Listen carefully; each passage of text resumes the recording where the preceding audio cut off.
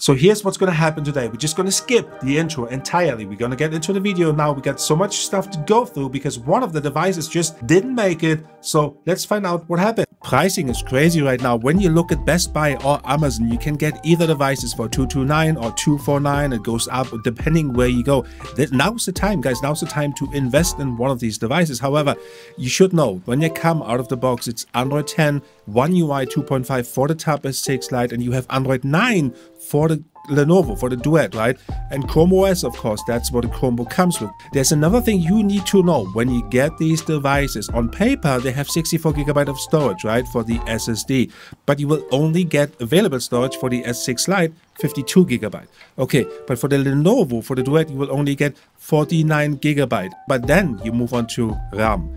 And here's something you should really know. When you get them out of the box, you have nothing installed. 4GB of RAM on paper, you only get 2GB. Only 2GB is available. We'll see if that makes an impact on performance, right? We'll see that later. And SSD is not like SSD. The reason why I mention this, look at the figures. You have a Tab S6 Lite SSD versus an like a normal SSD, eMCP SSD on a Lenovo Duet. And there's a huge difference in sequential read and write speed, almost four times in terms of read and then double the write speed. And here's one of the most interesting facts we have collected in a long time. We've done a survey amongst all the tablet users worldwide, amongst our audience, right? Because the Lenovo Duet comes with a keyboard included, which is a great value at first glance. And then you have a pen included for the Tab S6 Lite, also great value, right? The survey though shows a different picture. When you look at this, people say 44% of all survey people say that a tablet and a pen is important. That's it. That's important to them. Of course, the full package as a laptop replacement is really appealing. You have the same number of people who say, yeah, that's for me. Pen, tablet, keyboard. Tablet only, old school, 9%. But here's the thing, here's the thing. Tablet and keyboard, 3%. So people would choose, 44% would choose a tablet and pen rather than a tablet and a keyboard, right? There's already kind of an indication that the Tab S6 Lite here with the pen is more appealing and then people can always spec it out. But we'll come to this with the pen situation for the Duet later on. When you hold both devices in your hands side by side, you don't feel a difference in terms of weight and size, right? But here's about you can see the difference in bezels, and I feel like that the Duet bezels they feel enormous compared to the Tab S6 Lite. The Tab S6 Lite looks really slim. Camera placement horizontal versus vertical. So there's one difference here, which we will see later in our video calling test. The Lenovo on the back, you can see the metal uh, body on the bottom, and then you have a bit of a plastic on top. That's kind of blue and playful color. That could be a, a Google thing because that's what Google likes to do with their hardware. Since it is a Chromebook, it makes sense. People like it or they don't. I do like it. When you hold them side by side, you will see that the Tab S6 Lite has an expandable SD card slot, which the Lenovo Duet doesn't have. The volume rocker and the on and off button are on the top, like a tablet, right? That's kind of a tablet design. Whereby the Duet is more like of a laptop design. You have it on the side, the volume on and off rocker, as well as the on and off button. And then, you, of course, you have your keyboard connectors, your pins for the Duet, and then you have a USB-C port. There's one thing I need to mention, and that's very important, that comes up in our test later. You do have a headphone jack for the Tab S6 Lite, right? Old school, you do not have that on the Duet. But you have an adapter included in the box for the Duet, and you know what? Everybody's showing you the adapter, but nobody's testing it. So we're gonna test it later on. I mean, honestly, when you look at the Duet on first glance on paper, you have the keyboard included. That's immensely insane value. 229 Best Buy. Wow. The keyboard comes in two parts. You have one part that goes on the back. It's really strong magnetically. There's a bit of flimsiness included though. I mean, it's all in, in line with pricing, right? When you look at that, it couldn't really open it at the back. You open the whole thing or you take it off, but it's doable, not a problem. It even holds it when you uh, dangle it. That's not an issue. The other side of the keyboard goes on um, like a normal keyboard, right? And here's where the fun really starts. As soon as you detach the keyboard, the second half of the keyboard of the Duet, it will go into tablet mode and you will have these array of icons, shortcuts on the home screen, including the big search bar on the top. It looks hideous to me. Uh, the first thought, how do I get rid of this? And I found a solution, but this is a solution you should keep in mind for when you have issues. And I'm gonna show you this in a second, but first to the solution. In order to get rid of this home screen here, all you need to do is connect a Bluetooth device like a mouse, for example. I have a Surface mouse, I connect it, and voila. Then you go back into laptop mode and you don't have these icons. You can rearrange them all. You still have that big search bar visible. But the only problem now is that you can't type, right? You can't type into a like a search bar or whatever you want to type. It's just not possible because it thinks that keyboard is a touch. It is basically restricted into uh, laptop mode. Basically, this little workaround has saved me from discontinuing this video and I'm honest, honest, honest truth here. And I'll tell you why. Every time I detached the keyboard and I touched it back on every other time, it got stuck in tablet mode and I didn't know how to get rid of it at first, right? I had to reset the device over and over again. It was so bad, I shot some iPhone footage here, it got stuck, it was frozen, completely frozen. I was ready to just pack it in, and then I found this solution. So 8 out of 10 times, it helped me to get out of the tablet mode, go back into laptop mode, although the keyboard was attached. In terms of keyboard, the keyboard, I mean, come on, it comes in the box, right? What can you say? I can't really fault the keyboard for that. It is a bit cramped. Touchpad isn't great, but if you honestly, if you just work on Google Docs, it will do perfectly. Going to the Tab S6 Lite in search of an alternative keyboard for the Tab S6 Lite, I've chosen this Samsung. It's a Samsung keyboard and it's basically something you see out of a spy movie or on the building side. It's kind of really rugged, but it's plasticky. It's not like really sturdy. Um, it is really like cumbersome when you look at the whole package. You plug it in and your USB-C port here, and it's all working fine. But I wanted to show you this alternative. It is out there. It costs around 60 bucks, and you know it works fine as a keyboard, and it completely protects the Tab S6 Lite. It's just very plasticky or simply use some cool accessories like we have, like our, you know, our old iMac keyboard. It works brilliantly. It has good key travel. We connect the mouse, Logitech mouse here. OTG works. You plug it in and then you have a cool setup like you put it into the book cover mode and then it looks cool right you have a better setup than all these keyboards that come with it i think so. Anyway and the same applies to the um, lenovo. The only issue is really the keyboard comes uh, included so you don't really need to have an extra accessories but you can. I wanted to see if it all works together. Of course it does. Otg works fine. You can see that here.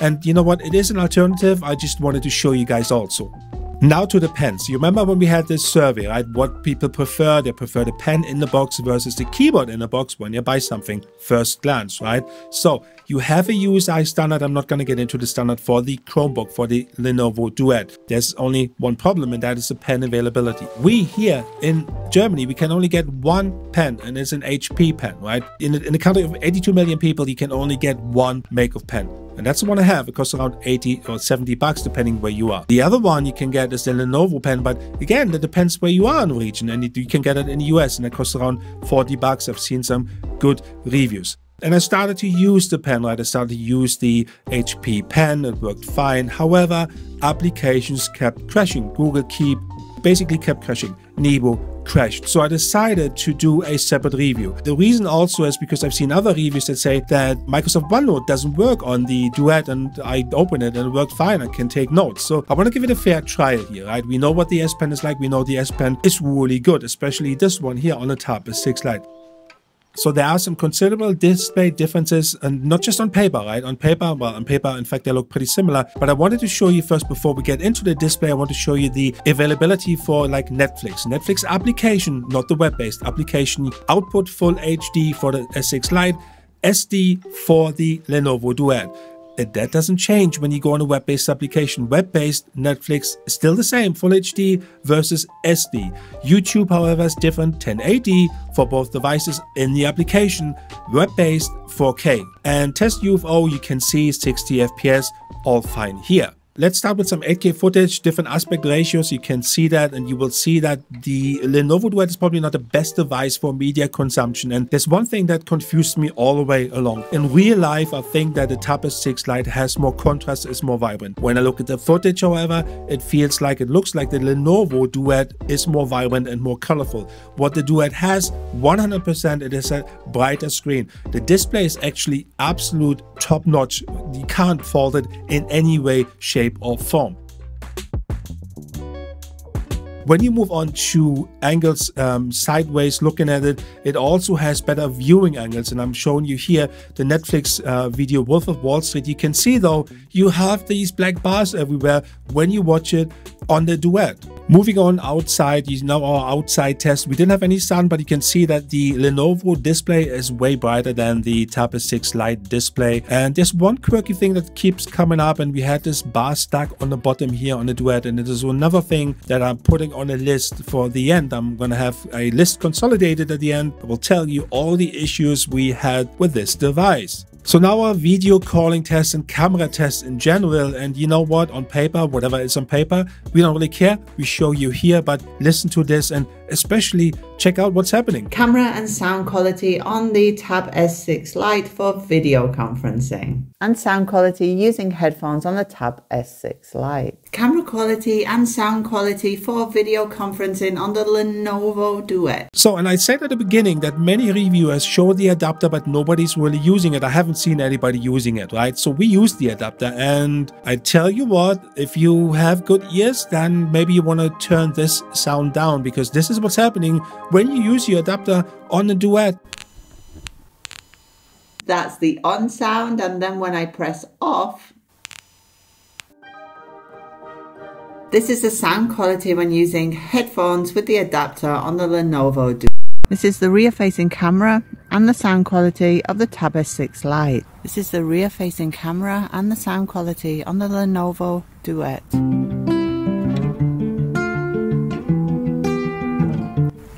Could that be any choppier while filming? Get out of Manhattan in a New York minute. There's a yellow cab, yeah, we should get in it. We don't need a reason, let's get on a plane. So we've seen all the footage and we heard what's happening with the duet when we use the cameras and especially the um, headphone jack adapter. But let's move on to the speaker test. We want to have the full picture before we come to our conclusion, right? Prom night. And when you live in top shelf, you know you gotta set the bar high. Had the same since we was kids.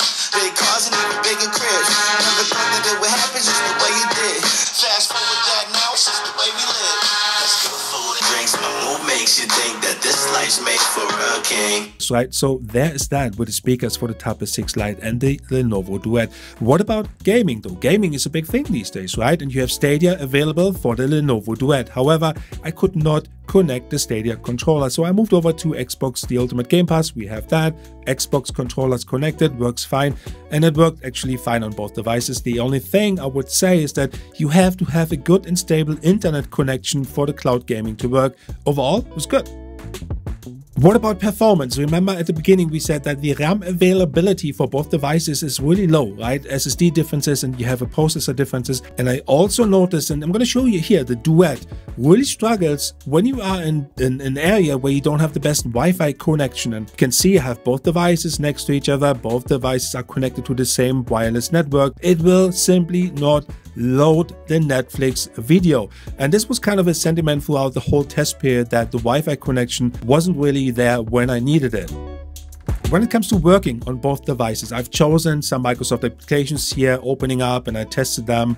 Uh, Excel, PowerPoint. I felt like the Tab S6 Lite was slightly ahead, but that's just like could be subjective, but it felt like it. And then moving on to the Google's own application side, and this is what really surprised me here. The Duet is a Chromebook, which is really designed for being online, right? This is what it is for. But every time I used the web application for the Chromebook, it performed worse than the Tab S6 Lite, and it shouldn't be like that. However, as soon as I used a pre-installed application like Google Docs or Drive application, then it worked fine. And here's some Geekbench 5 information. You can see the difference for single core, multi-core for both devices. The top scores here is for the Tab S6 Lite and the bottom left is for the Lenovo Duet. Moving on to the battery, both have the same battery capacity. Huge difference here. Netflix full brightness. And again, the device is here, right, for streaming. The Duet only lasted four and a half hours. Full brightness Netflix movie. So I don't know what's happening here, but this is all kind of, you know, that fits into the whole picture here of what's happening with the Duet for our test. This, however, changes when we use 50% brightness and we then have a local video playback, so it's not streaming, not web-based, then the Duet really performs as advertised. So does the Tab S6 Lite. But that's also something that you guys need to consider when or before buying this. A full charge is kind of similar, really. It depends um, probably what charger you use. These are the chargers out of the box. Full charge for the 6 Lite, just over three hours, and then almost four hours for the Duet. Whew, that was something, right? I really wanted to test more, but at this point, I'm going to just list you the issues I had with the Lenovo Duet. Number one, tablet mode, back and forth tablet mode versus laptop mode was the main disaster. Just kept not, uh, just wasn't happening. Wi-Fi signal not as good, right? The white bar on the screen on the on the bottom just kept appearing. Don't know why. And then the auto hide, the shelf auto hide, was just worked sporadically. Let me move on. I have the system language set to English. Half of it was in German. Kept resetting it, came back, don't know what, what's happening. Google Keep keeps crashing, including other applications like Nebo. As mentioned before, Stadia controller did not connect wirelessly. And here is my thought to the Lenovo Duet, right? Everybody's raving about it. I'm not, but maybe I'm looking at it at a different angle, at the wrong angle here. When you buy this device, like just that device for Google Docs, you pay 200 bucks. I mean, man, can you really fault this, right? Not, it just doesn't cost that much. It's a budget device, absolutely fantastic. But here's the but: as soon as you put it against any competition, it starts to crumble, and that's pretty much my main conclusion here. So, Tab S6 Lite, clear winner. Lenovo Duet, it just wasn't there today, right? Lost big time. Thank you for watching, guys. Let me know in the comments below what you think about it. And as always, Tony and Jens here from Allstar Space. Peace out. out of Manhattan in a New York minute. There's a yellow cab, yeah, we should get in it. We don't need a reason, let's get on a plane.